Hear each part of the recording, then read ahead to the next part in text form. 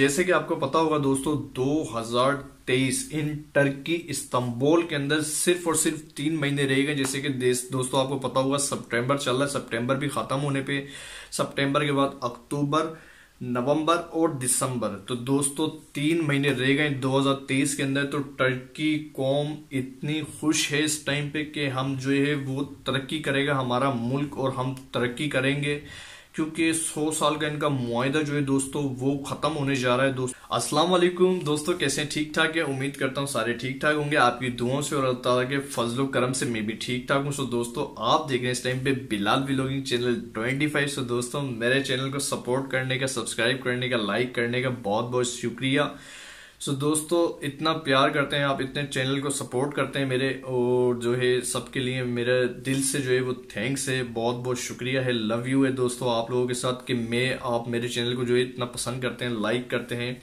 तो दोस्तों आज मैं आपको इस वीडियो के अंदर बताऊँगा कि टर्की के अंदर इस टाइम पे क्या सिचुएशन चल रही है 2023 के हवाले से। सो दोस्तों इस वक्त टर्की कौम जो टर्की कौम है दोस्तों 2023 के हवाले से डेली ये लोग रोज रोज रैलियाँ निकाल रहे हैं, इसी खुशी में जश्न कर रहे हैं, रैलियाँ निकाल रहे हैं अपने झंडे लेके कि हम जो है 2023 के बिल्कुल करीब आते जा रहे हैं, अब हमारा मुल्क तरक्की करेगा, अब हम ऊपर जाएँगे मक्का मदीना पे भी हमारी हुकूमत होगी, गैस भी हम अपने मुल्क से निकाल सकेंगे, सोना, चांदी, सारी चीज़ें अपने मुल्क से निकाल सकेंगे, कोयला, नमक। दोस्तों, टर्की के अंदर बेशुमार नेमत अल्लाह ताला ने जो है वो रखी है दोस्तों, पर सौ साल के मुआदे की वजह से जो है ये लोग अपने ही मुल्क से कोई चीज़ नहीं निकाल सकते। पेट्रोल, गैस, हर चीज़ इनके मुल्क में। यहाँ तक के दोस्तों, जो इनके मेन मेन जो समंदर है दोस्तों, जहाँ से इम्पोर्ट एक्सपोर्ट होती है Europe to Asia Asia to Europe import export होती है दोस्तों, वो तक इनके पास है। पोर्ट तो दोस्तों, उस पोर्ट पे भी जो है सौ साल की पाबंदी लगाई गई थी जर्मनी की तरफ़ से तो वो जर्मनी की तरफ़ से जो पाबंदी लगाई गई थी, वो पाबंदी जो है खत्म होने जा रही है। दोस्तों, सिर्फ़ तीन महीने रह गए, सितंबर चल रहा है, जैसे दोस्तों आपको पता है, सितंबर के बाद अक्टूबर, नवंबर, दिसंबर। दिसंबर में दोस्तों जो है, इनकी सौ साल का मुआदा जो है, वो खत्म हो जाएगा। फिर ये अपने मुल्क से गैस, पेट्रोल समंदरी टैक्स जो ये नहीं लेते हैं, जिसकी वजह से इनका मुल्क तरक्की नहीं कर रहा, इकोनॉमी इनकी बिल्कुल गिर गई है। जो दोस्तों, ये अपने मुल्क से टैक्स भी लेंगे, पेट्रोल भी निकालेंगे, गैस भी निकालेंगे, नमक, कोयला, सोना, हीरा, हर चीज़ इनके मुल्क में अल्लाह ताला ने नेमतें रखी हैं दोस्तों, पर निकालने के लिए मजबूर है, क्योंकि इनके ऊपर सौ साल का जो है वो बैन लगाया गया था।